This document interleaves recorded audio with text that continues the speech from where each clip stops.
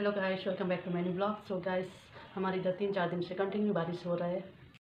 ये देखिए आज सुबह से बारिश हो रहा है।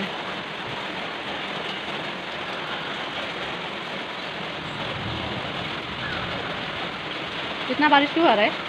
पाँच दिन बोलता है ज़बरदस्त बारिश हुआ बिना सीज़न का बारिश आ रहा है। और ज़्यादा आ रहा है। सुबह से बारिश हो रहा है आज। और ज़्यादा बारिश आ रहा है देखिए। बहुत ही ज़्यादा बारिश आ रहा है कंटिन्यू बारिश आ रहा है उसके दिन से। ये देखिए यहाँ पे सुंदर सुंदर फ्लावर लगा हुआ है हमारे यहाँ।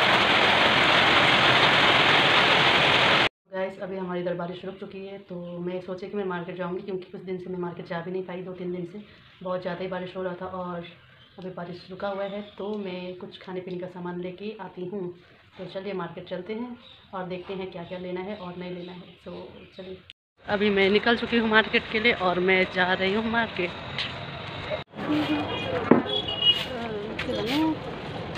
भैया ब्रेड कौन से। तो हाँ।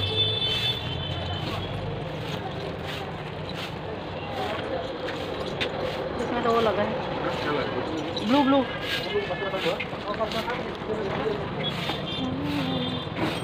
मैं लग जाऊँ। ले लेती हूँ। दूध पाउडर दीजिए ना चार पाँच वाला पाँच वाला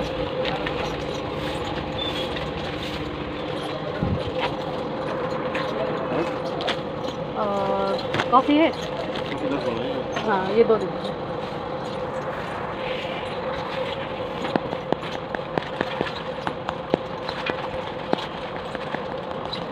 माजा दे दीजिए ना दो छोटा वाला हाँ दस गाइस मुझे भूख लग गया और मैं आई हूँ यहाँ पे ऊपर खाने के लिए यहाँ पे पेंटिंग देखिए कितना अच्छा है बात है अच्छा सा डेकोरेशन किया है यहाँ पे तो अच्छी है हूँ तो आने वाला है मतलब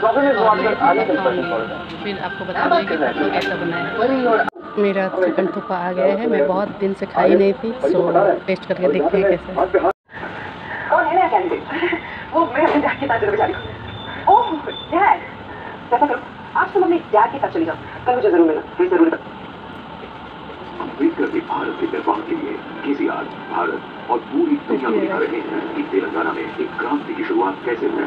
अपनी अभूतपूर्व योजना के ज़रिए जिसका नाम है तेलंगाना दलित बंधु। लगभग साढ़े सात वाला दलित परिवार के लिए तेलंगाना उनका घर बन चुका है। अब तेलंगाना ट्रेन जा रहा है। हमारे इधर सो गाइस मैं नक्सलबाड़ी स्टेशन में आई हूँ थोड़ा बैठने के लिए वॉक करने के लिए। इधर देखिए ट्रेन जा रही है। शाम को मैं ऐसे ही थोड़ा वॉक करने के लिए स्टेशन पे आ जाती हूँ। इधर से बहुत सारे लोग आ रहे हैं। स्टेशन में ये बकरी लोग बैठे हैं। यहाँ पे ये जाली दे दिए हैं ताकि यहाँ से कोई गिरे ना। और यहाँ पे सावधान दिया है कंस्ट्रक्शन कंस्ट्रक्शन इतना इतना बोल्ट है बोल के। तो मेरा वॉक हो गया है, अब मैं जा रही हूँ वापस रूम मार्केट के साथ साथ मेरा वॉक करना भी हो गया। ये देखिए इधर बकरियाँ।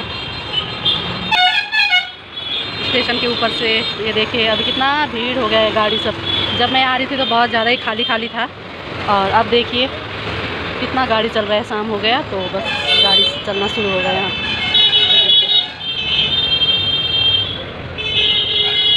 मैं अभी रूम आ चुकी हूँ और मैंने जो सामान लेके आया, मैं आप लोगों को दिखाती हूँ। ज़्यादा कुछ तो नहीं लाई, लेकिन एक दो दिन के लिए बस लेके आई हूँ। तो आइए आपको दिखाती हूँ। ये मैंने छोटा वाला माजा लेके आया है, टोस्ट, ब्रेड और ये फेबिक्विक कॉफ़ी और ये चना सत्तू और ये दूध पाउडर। बस इतना ही लेके आई हूँ। दो दिन के लिए।